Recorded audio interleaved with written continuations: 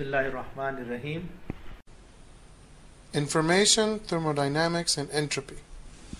Studies about information and thermodynamics both include the concept of entropy, which is the enemy of evolution. The fields of thermodynamics and information theory both present strong challenges to the theory of evolution. Unfortunately, these are complex subjects that are not easily understood. That's why we're glad that evolutionist Charles Seife has done such a good job of explaining the basic concepts in the introduction and first four chapters of his new book, Decoding the Universe. The last five chapters deal with quantum physics and other subjects not relevant to the theory of evolution. But the first 118 pages of the book contain some of the best, most accurate, and easiest to understand explanations of thermodynamics and information theory. Since he's an evolutionist, he doesn't draw the obvious conclusions and tries to skate around them as well as he can. But he does a pretty good job of setting the stage for those conclusions. Information is physical. In the introduction, he begins by saying, Information is not just an abstract concept, and it is not just facts or figures, dates or names. It is a concrete property of matter and energy that is quantifiable and measurable. It is every bit as real as the weight of a chunk of lead or the energy stored in an atomic warhead, and just like mass and energy, information is subject to a set of physical laws that dictate how it can behave, how information can be manipulated, transferred, duplicated, erased, or destroyed. And everything in the universe must obey the laws of information, because everything in the universe is shaped by the information it contains. He's really nailed it. We might nitpick and say that information isn't a property of matter and energy, but is a property like matter and energy. Nevertheless, we agree in principle. One can always dispute the best way to express a concept. The choice of of or like is not that important. It is important, on the other hand, that in the list of things that can be done to information, it can be manipulated, transferred, duplicated, erased, or destroyed. The obvious word that is missing is created. Information may be discovered, but it can't be created. Since it exists now and can't be created now, it must have existed since the beginning, whenever and whatever that beginning was. The laws of information are beginning to reveal the answers to some of the most profound questions of science. But the answers are in some ways more disturbing and bizarre than the paradoxes they solve. Information theory and the laws of thermodynamics both lead to a picture of a universe speeding towards its own demise, not one evolving from chaos to order. Heat and information both flow. Information is useless unless it moves from place to place. The information in a DNA molecule is of no value if it isn't read by some biological process that knows what to do with the information. Information is of use only when it flows from the information source to the information destination. It is information flow that gets the job done. Everything that happens is the result of information flow. And everything that happens causes information to flow. The same thing is true of heat. Energy can be thought of in terms of heat. And useful work only gets done when heat flows from one place to another. So there is an analogy between information flow and heat flow. Information theory, the science of the manipulation and transmission of bits, is very closely tied to thermodynamics, the science of the manipulation and transfer of energy and entropy. Information and heat dissipate. People have long known that it is hard to keep hot and cold separated. Hot things cool down, and cold things naturally warm up. That's why the ice melts in your refrigerator if the power goes out. Entropy is a measure of how evenly distributed heat is. As the ice melts in your refrigerator, the entropy of the refrigerator and the air in your kitchen surrounding it increases. The same thing is true of information. Once you stop applying energy, though, that stored information leaks out into the environment. For nature, it seems, attempts to dissipate information, just as nature attempts to increase entropy. The two ideas are exactly the same.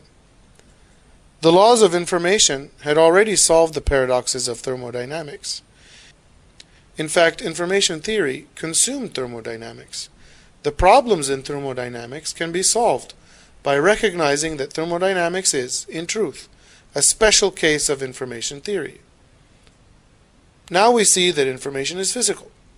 By studying the laws of information, we can figure out the laws of the universe. And just as all matter and energy is subject to the laws of thermodynamics, all matter and energy is subject to the laws of information, including us. Though living beings seem as if they are inherently different from computers and boxes of gas, the laws of information theory still apply. We human beings store information in our brains and our genes, just as computers store information in their hard drives. And in fact, it seems that the act of living can be seen as the act of replicating and preserving information, despite nature's attempts to dissipate and destroy it. Information theory is revealing the answer to the age old question What is life? The answer is quite disturbing. Life is not death. What is life?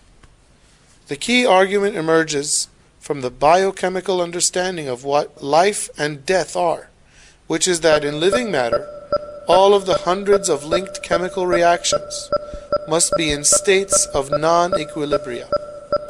Death occurs when the biochemical reactions of the cell reach their endpoint, equilibria.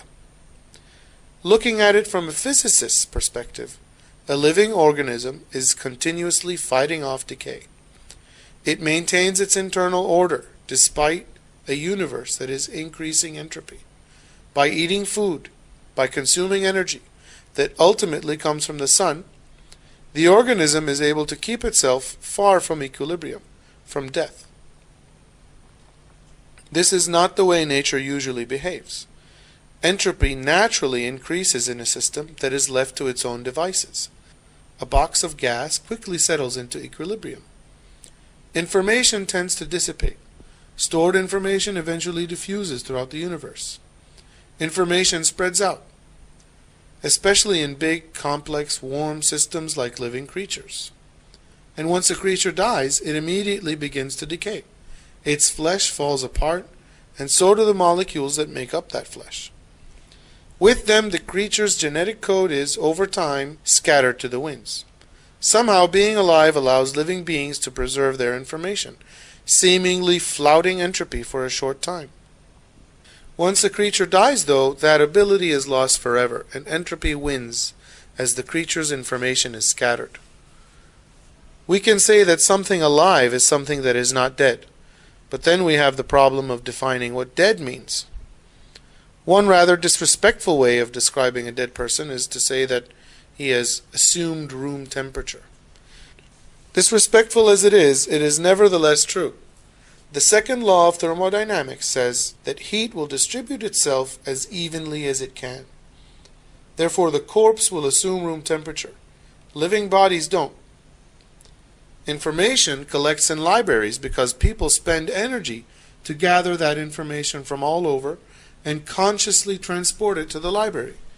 When uncontrolled energy was added to the library at Alexandria in the form of heat, it did not increase the information contained in it. When the library at Alexandria burned down, the information in all those books dissipated into the ashes and was lost. There is information in a DNA molecule. How did it collect there? The scientific laws of thermodynamics and information theory tell us that information doesn't just collect naturally, it dissipates naturally. Genetic mutations cause information to be lost, which generally results in disease or death. Living things get information passed down from their parents through DNA. The parents got that information from the grandparents.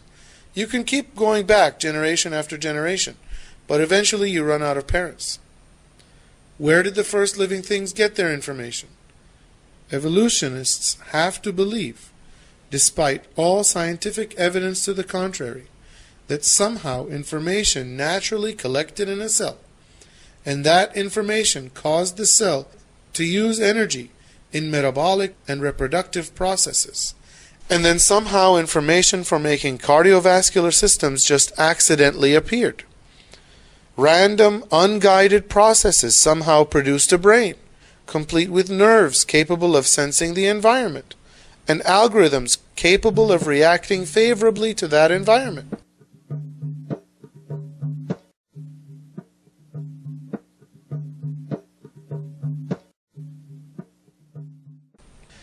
The information for building many different kinds of eyes just happened to flow into the DNA molecule.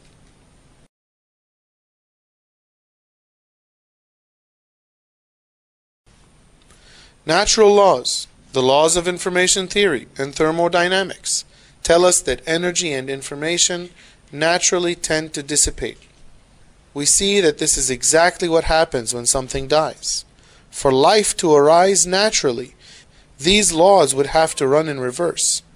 It is difficult, in fact, it is impossible, for a scientist to reconcile the theory of evolution with the laws of thermodynamics and information theory.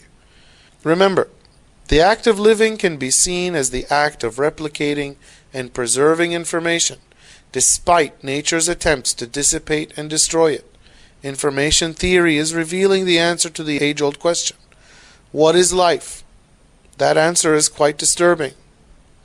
It is only disturbing if one wants to continue to believe in evolution, in spite of all the evidence against it.